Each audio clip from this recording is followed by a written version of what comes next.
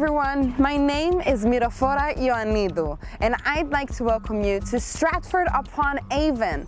Today we are in QRTC and we are going to have a quick look at everything that has to do with Project Swift, from the technology behind it up to running a test ourselves. As you already may know, this project was co-funded by Innovate UK, RSSB and led by Cisco. Now, the reason why Project Swift has been talked about so much is because statistics have shown us that 3 million people in the UK commute more than two hours a day. That already is a 72% increase in the last 10 years. Whilst on those trains, 33% of internet requests fail.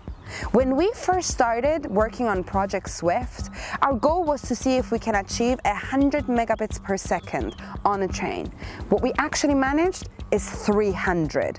Now the amazing thing is, everybody wins, from the train operator to the staff, and even more so, the passengers.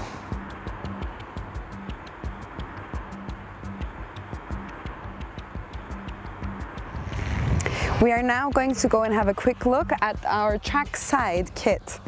So we're just gonna cross and here we have one of our cabinets.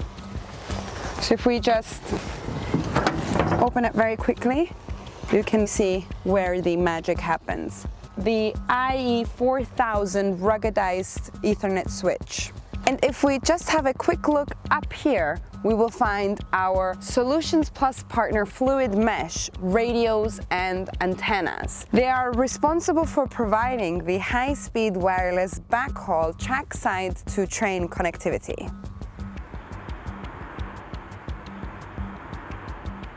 We're going to have a quick look at the data center head-end.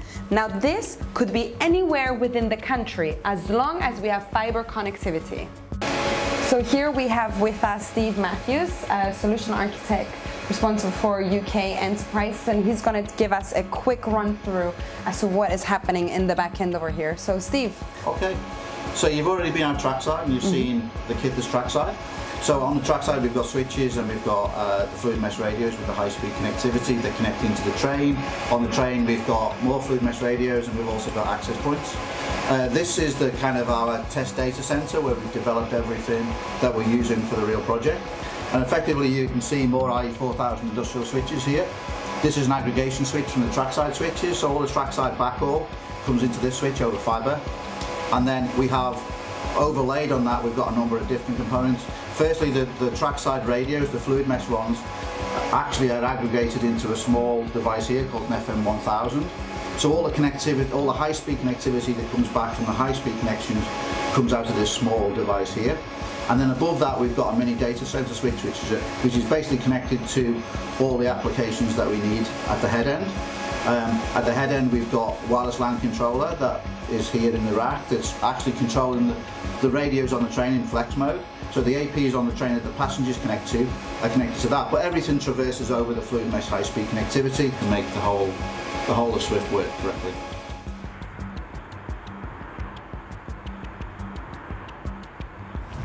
Let's have a quick look at the train and what's inside of it.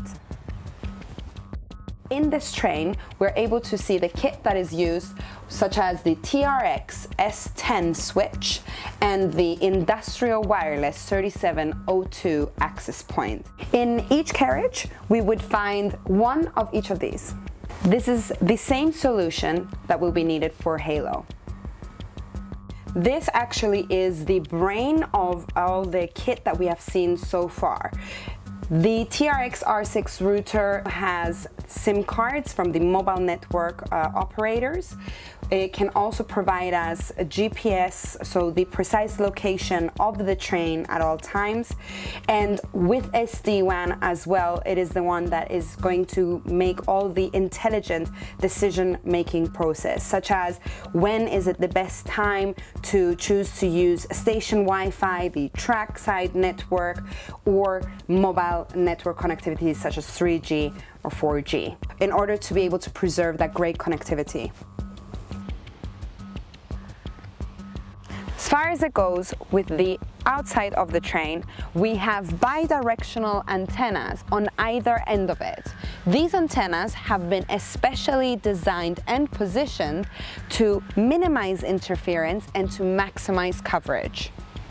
The time has now come for us to connect. We're going to send our invitation through our Outlook calendar and we're going to run the call through WebEx. So let's see how it goes. Hey guys, so I'm just joining on a train, so sorry for all the noise. But uh, guys, I've just started the recording so we can play it back afterwards to see how uh, the conference looks like. Uh, but Nisha, where are you joining us from today? Today I am working from the Cisco office in Italy. wow, that's amazing. Jess, where are you calling in from? I'm in sunny UK in Bedfont Lakes. Awesome. Okay, so does everything look all right from your side?